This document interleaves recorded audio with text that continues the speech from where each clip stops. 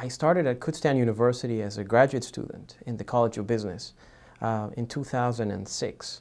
And then I uh, was offered a job uh, as we created the Latino Business Resource Center. So I've been with the university since then with the Small Business Development Center and the Latino Business Resource Center. I've also had the opportunity to work with the College of Business uh, for a few moments, uh, increasing the number of uh, MBA students in our program.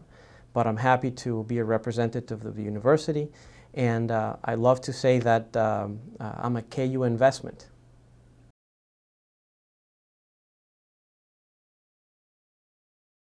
At the Kutztown University Latino Business Resource Center, uh, we're working directly in the community. In this case, my office is located in the city of Reading, and we also have a Harrisburg operation now. What we do is we consult directly with uh, prospective business owners, and we provide our consulting services in Spanish uh, because of one reason. We believe that uh, there's three languages that we work with. Number one is English, the other is Spanish, and the other is business. If something gets in translation, the business part is going to be a little bit missing and is not going to help the business owner nor the community.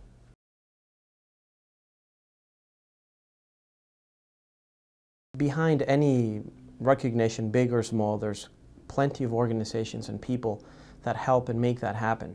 In this case, it's because of the work I'm able to do for Kutztown University and the Latino Business Resource Center that I believe we as a university and as a Latino Business Resource Center were able to get this award.